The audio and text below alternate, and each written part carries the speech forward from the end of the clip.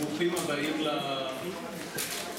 ליום העיון של האיגוד והספרייה הלאומית בנושא זכויות יוצרים לנחלת הכלל. דבר ראשון, אני מבקש מכולם להשקיע את הסלולרי, ואם מישהו ישכח, אז יהיה סובלני כלפיו שזה יצלצל במהלך ההרצאות. אנחנו נמצאים בתקופה, הייתי דינמית מבחינתנו כארכיונים.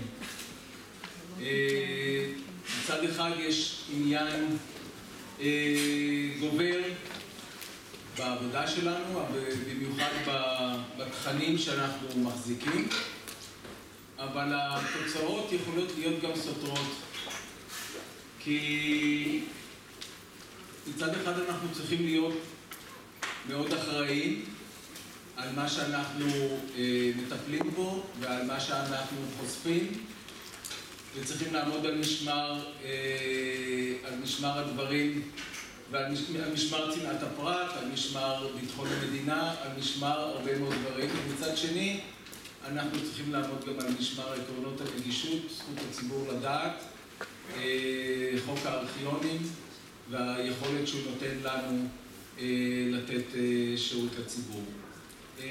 ועל קו התפר הזה אנחנו הולכים. אני חושב שזה רק עושה את המקצוע שלנו ליותר מאתגר ויותר מעניין. דילמות כאלה אינטלקטואליות, לפעמים משפטיות, כמו איסורי צמיחה, אתה גדל איתם.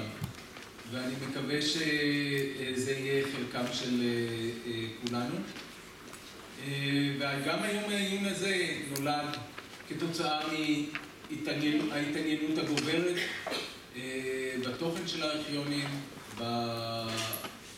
ברצון להנגיש, שהוא לא תמיד עולה בקנה אחד עם היכולת להנגיש או עם האפשרויות, נקרא להן הפורמליות להנגיש, ואנחנו עוד נעסוק בזה גם היום וגם בהמשך, כי אלה נושאים שימשיכו ללוות אותנו והם גם לא תמיד מוגדרים עד הסוף ואני חושב שזה גם מה שמייצר את ההתעניינות הרבה בהם, כי גם אנחנו נתקלים בהם ביום יום.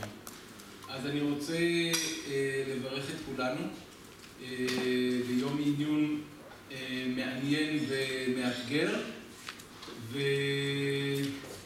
ותמשיכו לבוא, תירשמו לאיגוד, תבואו לקורסים ולהשתלמויות כי אין דרך אחרת ולהתפתח ורק אם תעשו את זה אנחנו נוכל לארגן מפגשים מהסוג הזה ואחרים. ואני רוצה להזמין את רחל משרתי שהיא גם חברת הנהלת האיגוד וגם עובדת במחלקת הארכיונים של הספרייה הלאומית לברך בשם הספרייה הלאומית. רחל, בבקשה.